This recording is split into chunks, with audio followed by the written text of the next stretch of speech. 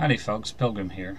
Folks, I apologize firstly for the dismal color of the screen here on this video. I mean, it's cloudy outside, I got a failing light bulb, and so on and so on.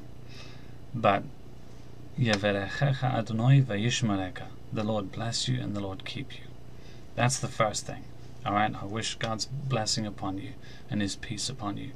Because in times like these, we need it more than ever before.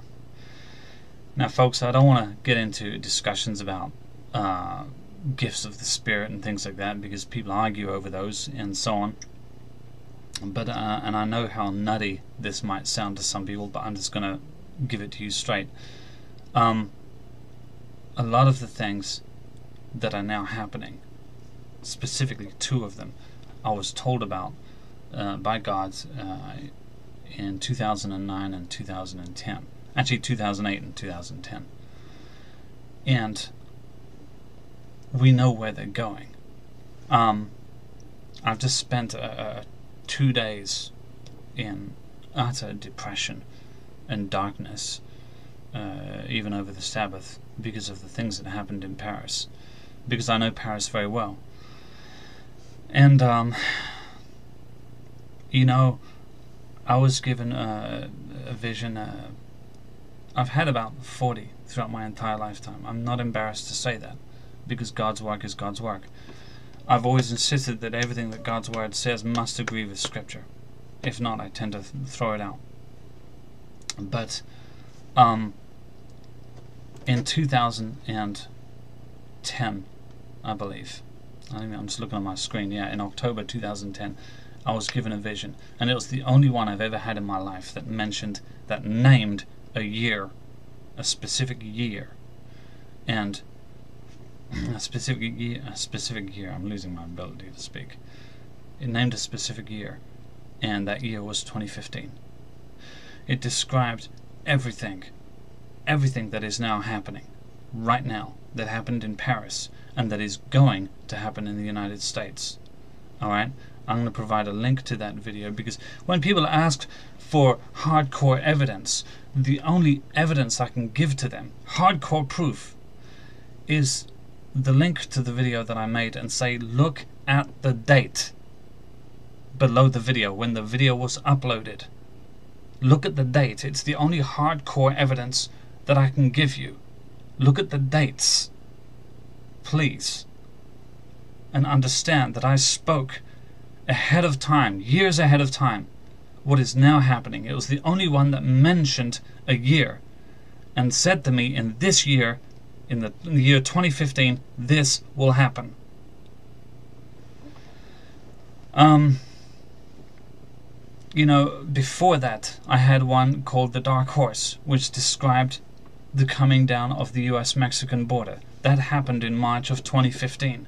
Again, I'm going to provide a link below this video here on YouTube. Look at the date.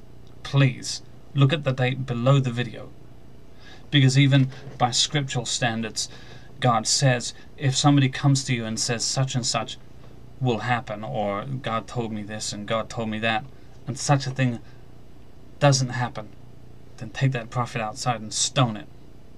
Now, I don't say that I'm a prophet, but, you know, I'm, I'm saying that God's Holy Spirit has been awakening a lot of us in these last days and telling us a lot of things that are gonna that will happen ahead of time. And here I have hard proof. Alright? A lot of more than two, you know, five or six, you know, uh, I've been I've just been seeing them materialize and happen right in front of my eyes over the last number of years since 2008, especially concerning Israel. And all of this surrounds Israel. But these two I want you to see and check out. Most of all, I want you to watch a video that I'm going to post, and it's called The Forced Collective Suicide of European Nations. Please, I beg you, please watch that video. Brace yourselves when you watch that video, because that is what is coming here. And that's what threw me into a depression when I saw what happened in Paris. Because I'll tell you the truth. I honestly didn't think I was going to live to see this year. I was hoping I wouldn't. you know, back in 2010, and I made a lot of videos at that time. I didn't think I was going to live to see these things happen. I thought maybe I'd be gone before then. And it threw me into a massive depression um, when I started seeing these things. And I saw the US Mexican border come down, which I spoke of in 2008, um, 2009. And then I saw Paris happen, and I realized you know, I hear the reports uh, that Obama is letting letting in something like 60,000 of these same people into the United States. Uh, or is it 140,000? I can't remember. Huge amount. And then the FBI came out with a statement saying ISIS is now in all 50 states. Watch this video. It's called With Open Gates, the Forced Collective, uh, Forced Collective Suicide of European Nations. Watch this video and understand that that is what is going to come here. You know, because these nations will be forced to their knees. God returns measure for measure to all of his enemies. What we do against Israel is done to us. What is now happening in Europe? Israel has lived with every day of their lives for the last 70 years while these Western nations have ignored. Now, a week and a half or uh, a week and a half ago or so, 136 countries voted to divide and split the city of Jerusalem and the land of Israel.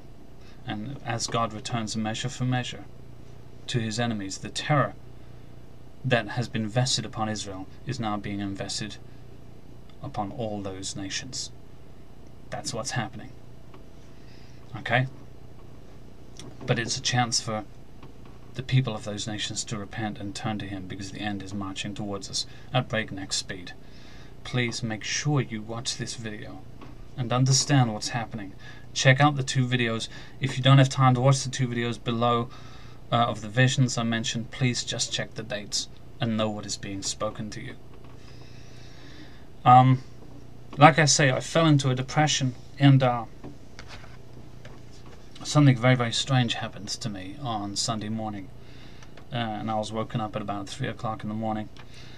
And, um, and this is on a kind of the same subject, but I don't know. How do I actually, I told you this was going to sound nutty. Um,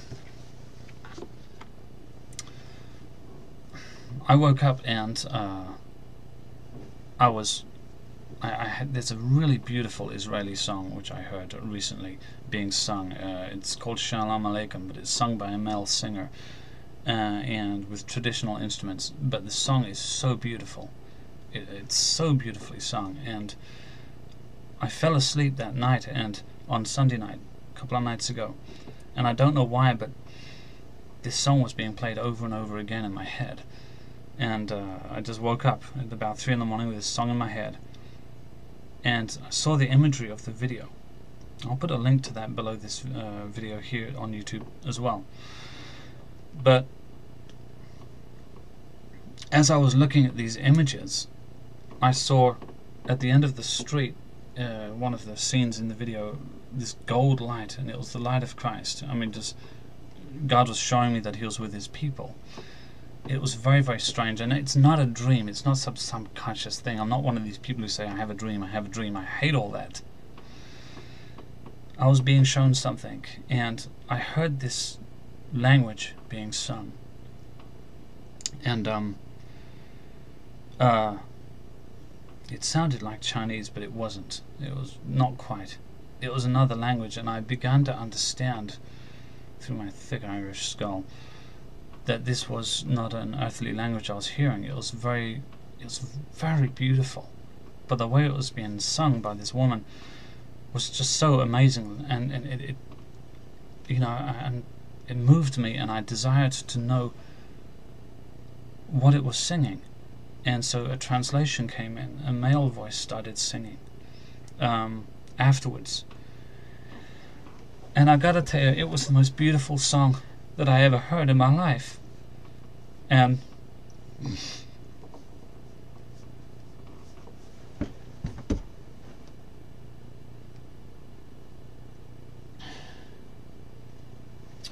and I tried to remember. Sorry, I tried to remember this song. It was so beautiful. I've never heard anything like it in my life. It was a song of love. And I've never heard anything so beautiful in my life. And, uh, you know, it's it, it pushed back all the fears and the darkness and everything. I knew that I was listening to angelic languages and it was being translated for me and I realized that these songs are being sung in heaven all the time. And it was so beautiful. I tried to remember the words of the song and I don't think I was permitted to do so. Because soon, as soon as I started trying to remember, you know, it was cut off and uh, released back into this world. But the only line that I can remember was the last line that I heard, which was, Jerusalem, come back to the light. And, you know, it was in response to all of this fear and all of this darkness, all the stuff that I know is coming. And, uh, you know, my friend Kimberly Dawn in the in the ministry that I'm engaged in right now, um, she said something very profound, and I don't think she knew what she was saying. She she spoke of praise being our weapons of warfare against everything, and this is something I had forgotten long ago. Um, that the Bible literally teaches that praise itself pushes back the darkness. I'm looking online right now for where this phrase is that she used, but it struck me. I don't think she knows what she said, um, because when you're in the spirit, when you're in the heavenlies, you see things happen. We think it's just words. We think prayers are just words that we offer and thoughts from our hearts. We don't see what they accomplish in the heavenlies. Real warfare actually breaks out and takes and takes place because God has placed much upon our shoulders as human beings because he created us in God's image and I can't explain how all that works. What she said was praise is our secret weapon in all battles. She doesn't know how literal it was how literal the truth is of what she said is. And I, I can't explain what I mean, but I was there. I know it wasn't something from my head. I was taken to another place. I was shown things, and this song broke out uh, among the angels, and they were just singing and singing. And I'm not some, you know, Pentecostal madman. Sorry if any of you are Pentecostal. It's not an insult, but get over it. You know, you know there's some bad apples that have created that impression. But I'm just saying. In the days ahead, some dark things are going to happen. And praise is our secret weapon in all battles. God is going to carry us through. As God returns measure for measure to his enemies that have done this, to his to the apple of his eye. He's going to protect you and give you what you need through those times. How do we know this? Because he's returning measure for measure to his enemies, and you are not his enemies. Throw yourselves at the feet of Christ, now more than you've ever done before, because we're at the time, we're three years away from the end of this generation, mentioned in the Genesis timeline prophecies, which I have shared with you time and time again and I will share them with you again in the future to those who don't know what I'm talking about. But throw yourselves, please, at the feet of Christ, because we're running out of time to do so. The King and his kingdom is coming. God bless you.